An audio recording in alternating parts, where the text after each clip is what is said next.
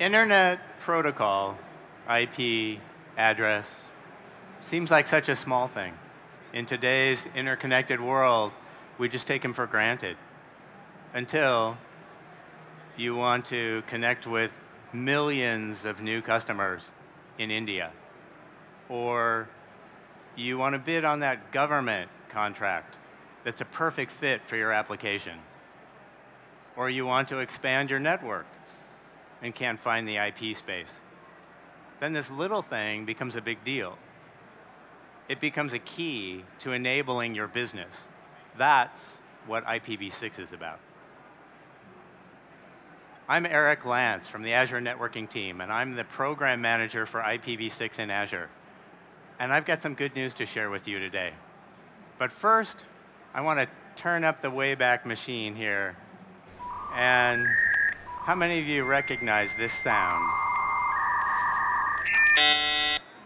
That is the sweet lullaby of my home computer connecting with the world, circa 1985. In those days, we connected at 300 baud, and we all used an IPv4 address. It seemed like there were so many of them. The, uh, that was before we had a computer on every desktop and in every home. You remember that? And certainly few of us foresaw a computer in every pocket my wife and I went to a appliance store recently, and in the refrigerator section, they had a uh, information for each of the refrigerators on their connectivity, Bluetooth or Wi-Fi. Yes, we live in a world where refrigerators routinely have IP addresses now. And yet, we, the world, are out. The last IPv4 block was assigned in November 2018, a year ago this month. Um, and like with any scarce resource, people started to innovate. For IPs, this meant ever more Byzantine network address translation schemes, usually. And like any scarce resource, people started to barter. A single slash 10 IPv4 range can go today for tens of millions of dollars. What I wouldn't give to somehow communicate that to my 1985 self. And the price continues to rise. I know this because, like many corporations, Microsoft is constantly scouring, looking for these ranges. But there is another way. Internet Protocol version 6. IPv6 has many shining parts. But the part of v6 that's, that's most attractive for most folks, a part that shines like a beacon in a weary routing world, is a virtually inexhaustible supply of IP addresses and the world is taking notice. Our friends at Cisco tell us that fully one third of the US internet users, browsers, prefer IPv6 today. And even more telling, over half of the content of the US internet is now IPv6 accessible. The projections are for over 9 billion IPv6 capable mobile devices in the next couple of years. And the trends worldwide are the same. IPv6 use is on the rise.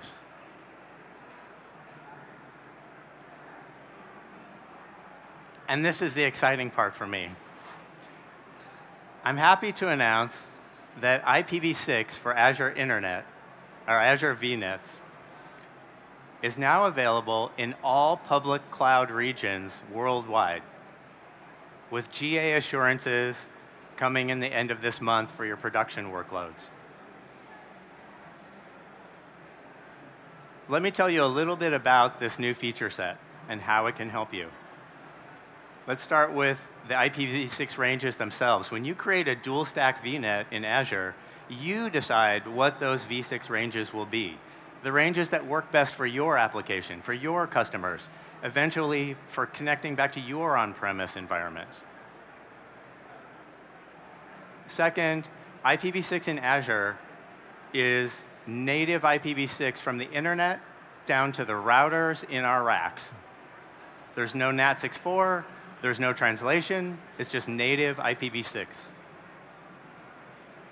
And with this new feature set, IPv6 in Azure VNets, IPv6 becomes a, uh, gets first-class support in the Azure VNets. That means that network security group rules can include v6 rules to protect your resources. And uh, user-defined routing can be set up just for v6 within your networks.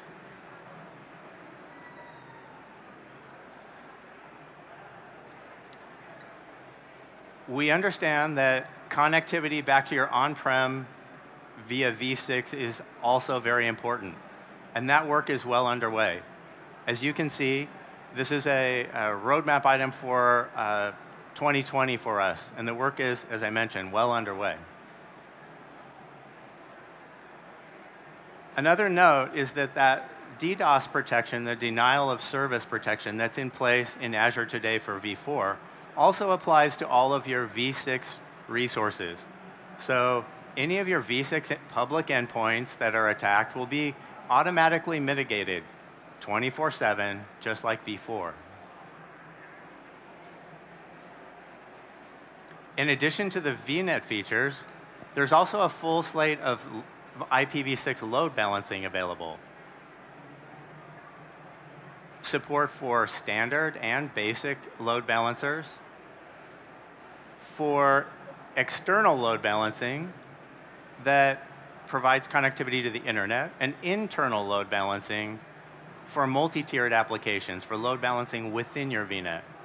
Of course, there are IPv6 public IPs if you need to have internet connectivity in your VNet, and even ranges of IPv6 addresses, prefixes, that you can have assigned to your uh, subscription and you can use as you will. That makes it a lot easier to do logging and uh, set up on-premises firewall rules um, when you're uh, working from a, a, a known set of IPv6 addresses.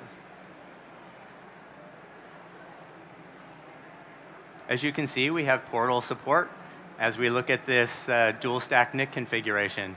But perhaps the most interesting feature is what I call easy to try. With Azure, with IPv6 for Azure VNets, you can add v6 to an existing IPv4 deployment. No deletion, no redeploy.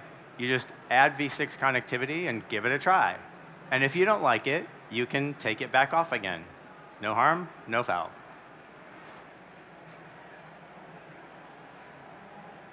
Now, what does this look like for real? Well, deploying IPv6 is really not difficult. It's done in four simple steps. First, we add IPv6 ranges to the VNet and the subnet. Then we add IPv6 security rules to protect the resources in the VNet.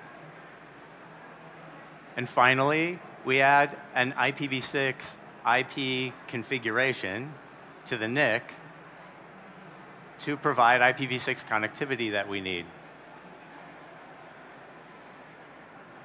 Now, what does all this look like in real life?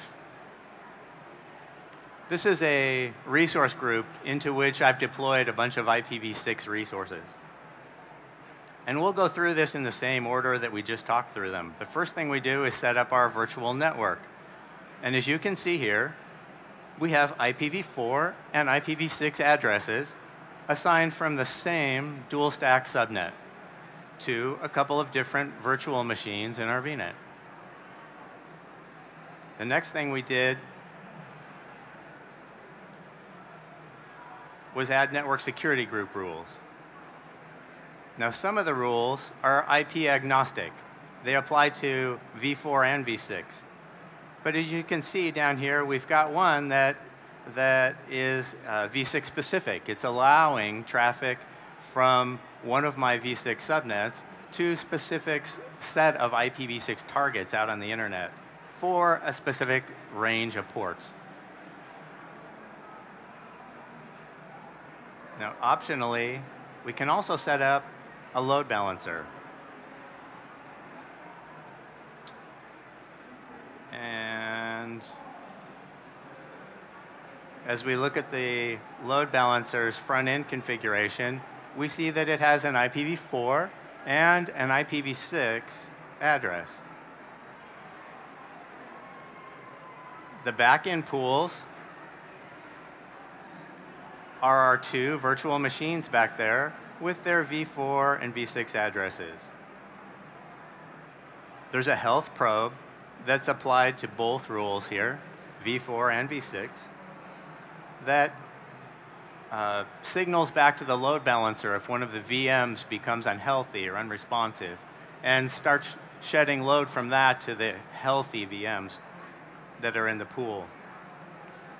And then we have load balancing rules, in this case just plumbing port 80 through for our IPv6 application. Now, everything you see here in this little example is available as samples to download. If you go to your favorite search engine, mine happens to be Bing, and you type Azure IPv6 VNet, but this works with other search engines also, you'll see that the very first thing that comes up is all the information about IPv6 in Azure. All the features, capabilities, as well as links out to more detailed documentation and the samples that we've just seen.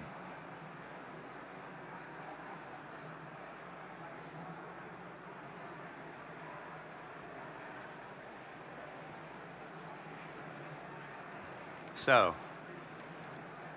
all of this feature set and ease of use didn't happen in a vacuum. We had a lot of help and guidance.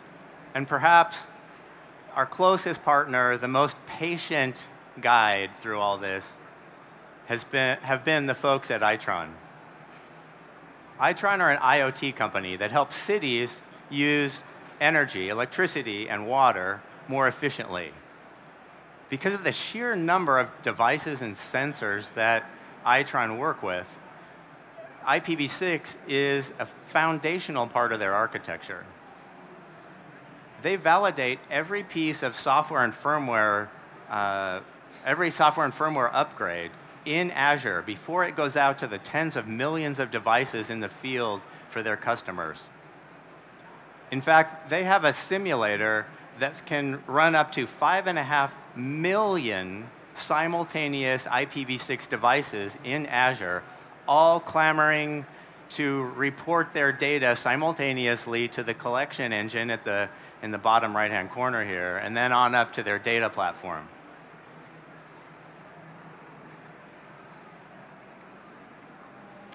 I think Greg Richards, a senior VP and techni um, uh, technology and research at I Itron, really said it the best when he said, Itron worked closely with Azure's networking team for over a year on this project, collaborating on the development of the IPv6 feature set and proving out added functionality within our system environments. We've gone, grown to value and trust the stability and reliability of IPv6 in Azure. As we look to expand our cloud-based portfolio and offer additional services for the 65 million IoT devices we manage worldwide. IPv6 capability is a key enabler for adapting our IoT framework to the cloud. Thank you, Greg. A critical part of the Itron infrastructure is highlighted here, it's a Cisco Cloud Services Router. This is the network virtual appliance that connects Itron's cloud infrastructure to on-prem Cisco devices at their customer sites. And I'm very happy to also announce that the Cisco CSR 1000V now supports IPv6 in Azure. It's a fully functional a full-functioned router virtual appliance in Azure. The Itron folks use it to IPsec tunnel between the cloud and their on-premises uh, installations at their customer sites. But it can do, it has a lot of features, and I recommend that you go to the uh, Azure Marketplace and check out the full specs on the, on the CSR if you're interested in using IPv6.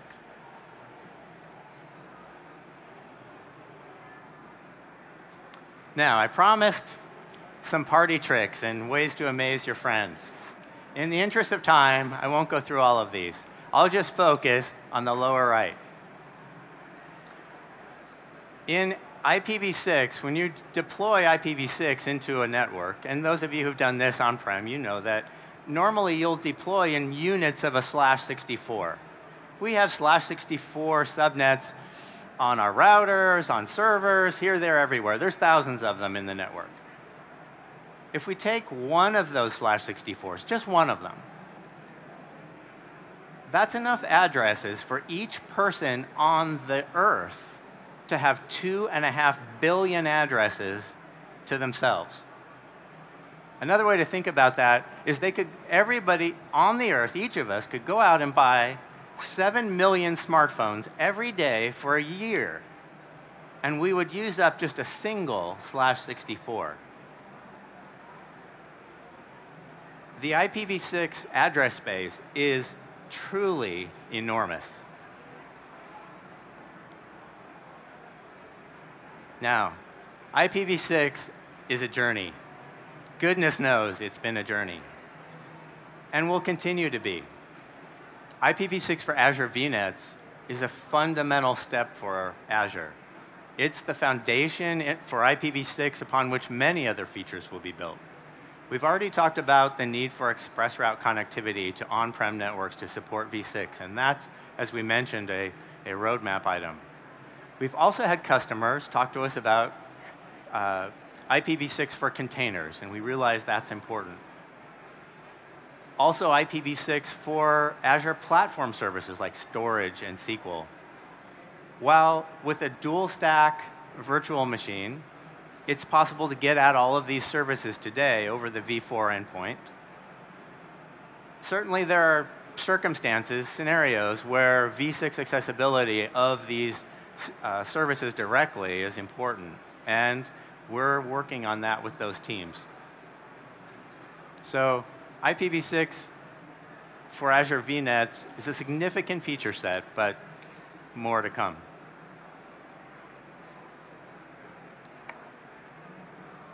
Now, if you take nothing away from my blathering on today, I'm hoping you'll remember three things.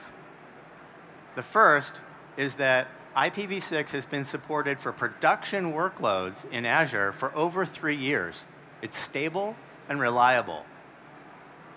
The second is that we've just released a significant new set of IPv6 functionality, IPv6 for Azure VNets, that enables you to build production quality dual stack applications in Azure. And lastly, I hope you'll try it out.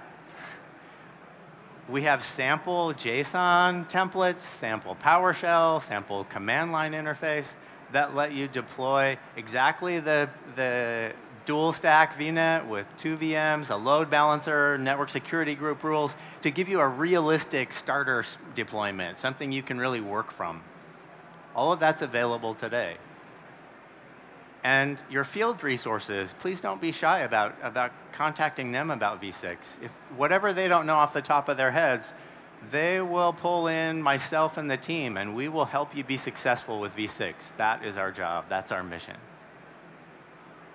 So this is a 20-minute presentation, and I'm right at 20 minutes. So I want to thank you for spending your very valuable Ignite time with me. I will be here to answer as many questions as possible. If you can't stay today, I am very, very often at the Azure networking booth, which is right behind us here. So over the next three days, you'll likely be able to find me there as well.